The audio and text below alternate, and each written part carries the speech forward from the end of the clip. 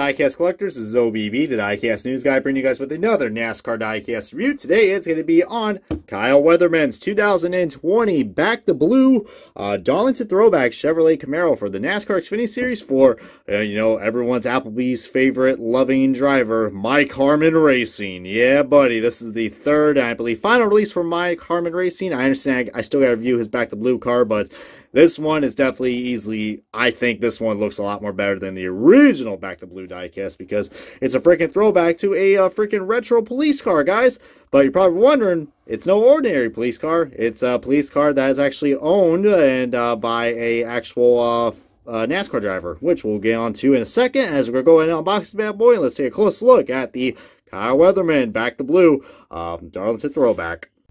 And alrighty, guys, we got this diecast the box, and man, this is one cool looking throwback, guys. I mean, I know I already did a lot of throwbacks reviews, guys, but this one I definitely decided to wait on it because there's something very unique about this thing, um, which I really do like. One thing that is definitely not unique is the quality control. As you can see right there, we got ourselves a butt fuck load of paint chips. I mean, look at this, guys. There's paint chips all over here, right above Weatherman's name. Goodness gracious.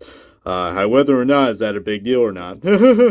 Stupid pun, Brian. Um, loose windshield as well. Goodness gracious. Uh, quality control. Uh, might as well have to freaking, I don't know, call the police on this thing, man, because this thing definitely uh, deserves to be in the slammer. I will say that. All right, enough of these bad puns, Brian. Let's get on to showing off this diecast. So we got the canine logo right here. It looks pretty cool, guys. Um, I don't know, anybody who is a big fan of the police force, I will say this probably will be a great diecast to have in your collection, or if you know somebody in your family that is a, that, you know, works in the police force, or a friend or somebody, that's pretty cool. This is uh that, that definitely I mean this is actually supposed to represent a throwback of the I, I guess uh well like an old police car I want to say like the highway patrol cars that you know um that you see in the movies or stuff like that but I don't know I mean I don't really know too much about my police car history but you know this looks pretty familiar and it's pretty kind of cool that you know uh um, the man, the myth, the legend himself, Mike Harmon Racing, decided, you know, hey, you know, I'm to do a throwback on a police car. have a nice police chauffeur to Applebee's, I will say that. oh, man. But, yeah, uh, really do like this, guys. I even like how they, the, the font really blends in well with the paint scheme. Uh, and we, I believe we got, uh, we got, uh, I don't know, that's somebody related to, uh, Kyle Weatherman, I believe that's on the driver, that's on the, here on the driver's name.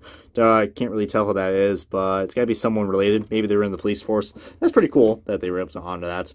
But love the simplicity of this paint scheme, guys. Really nice, especially with the gold lettering, um, and having, you know, patrol on the sides. I mean, that, that really gives that nice throwback vibe. A very unique throwback. I mean, not really a NASCAR throwback, but, um, yeah, this is supposed to, whoa, that Chevrolet logo is off-centered.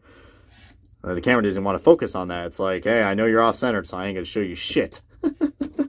um, kind of funny that this car actually, um, I, I this, this car does not have the half name banners on it. I guess it just depends on, you know, what team you're on or something like that. I mean, Mike Harmon Racing is quite an unfunded team, so maybe they didn't got the updated name banners. They don't really enforce those as much or I don't know, maybe I'm thinking of something else. Um, but I think what like all the uh, Harmon diecast uh, just had you know the original name banners on it. I don't know why. I mean that's kind of odd. I mean I don't know if it, that changed or ever. But yeah, and we really see that much sponsors. Uh, we really see an unsponsored diecast. But I guess you could say the back of this diecast is quite unsponsored, um, unless you know they blacking out you know a specific sponsor that's not appropriate, like an energy drink or alcohol. But nah, it's just an underfunded car. And this one actually has the correct headlights. Uh, uh, those are tail lights, Brian. They go in the tail. All right.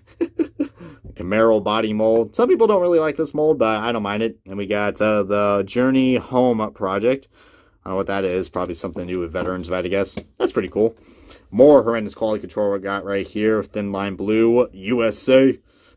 USA. And the throwback tires on this actually look really nice. I mean, I'm I know Lionel couldn't get the, you know, the blue trim around that, but you know what, man? It looks better without the blue trim, but, you know, in terms of accuracy, it's not really that accurate.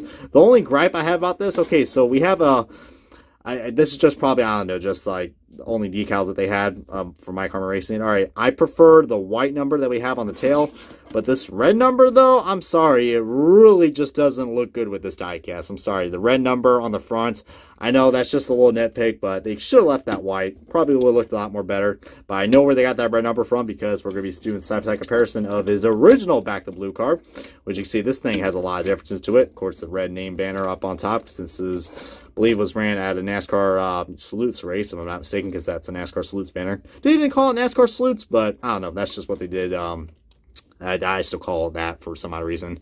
But yeah, I mean, two very unique looking paint schemes. So both kind of mostly have a black uh, front.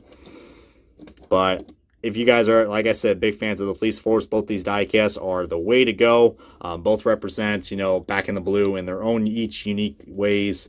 Um, and I don't know, I just love the simplicity of this diecast, guys. And yeah, that is actually, I never reviewed the original Back to Blue car, guys, but yeah, that is actually uh, what's accurate on the car. So yeah, that's on Mike Harmon Racing, not Lionel. So technically Lionel was right. Quarter panel's about the same, Weatherman's name. In terms of quality control, actually, I think the original Weatherman car actually looks, uh, actually looks a lot better, to be honest with you guys. Uh, oh, it says Officer Weatherman. Oh, that's cool. I'm a dumbass. I thought that was like somebody that was related, but no, that says Officer Weatherman. Like, you know, howdy, officer. Oh, I'm a dumbass. Whoa. oh, man. You know what? I should probably start wearing my glasses a lot more on the, on these reviews because, uh, then again, I mean, you guys like it when I just say stupid shit, but, but yeah, in terms of what's a better scheme, both are unique in their own different ways, but I prefer the throwback one, guys. The throwback looks pretty cool. Oh, yeah, I forgot to mention what this is throwing back to. This is actually throwing back to David Ragan's, uh, David Ragan actually owns, uh, one of these cars. Uh, not in Mike Harmon car, but a, an old police car. So, he's doing a throwback to that. So that's pretty cool. I mean, I wonder if the if Weatherman or the team has anything to do with Dave Ragan, because kind of a random choice, but heck, I I'll give them props for creativity, man. I mean, they did a pretty good job on this. We'll say. I mean, the K9 logo is a nice addition. I mean, in terms of paint scheme, probably doesn't really go well. I mean, they probably could have left that purple out, but I'm assuming that purple is supposed to represent the blue line, um, you know, for um, all the um, for, the officers in force and you know um, everybody in the police force. So that, that's probably what that stands for. Which you know that's pretty cool. But for the throwback, I mean, I don't know. I mean, not really the best looking logo, I will say, but uh, they could have left it gold too or something, but I understand why, you know, because, you know, it's the back of blue after all. You know, got to support your blue. But yeah, I mean, you know, with all the controversy aside about this uh, hashtag and everything else in between, this is a great looking diecast, guys. I definitely recommend picking this up. I have all three of these Mike Harmon diecasts, and honestly, I think this is definitely better than the Trump 164 and definitely better than the Back the Blue. Um, I'm still amazed that we were able to get three Mike Harmon Racing diecast guys. I mean, that is pretty damn awesome. I literally thought they were going to be canceled, but heck, I guess there was a big fan base when it came to that hashtag. So heck, you know, I'll I'll take it. You know, with without all the politics aside, guys. But anyways, guys, this has been OBB, the Diecast News Guy. Thank you guys so much for watching this diecast review of the um, of this uh, beautiful police force car driven by Kyle Weatherman in the hashtag Back the Blue Don's Throwback Chevrolet Camaro for Mike Harmon Racing. To give me some Applebee's now. Anyways, guys, uh, take care, everybody, as this has been OBB, the Diecast News Guy. Comment, like, subscribe, and I'll see you guys next time on another Civil Diecast Review.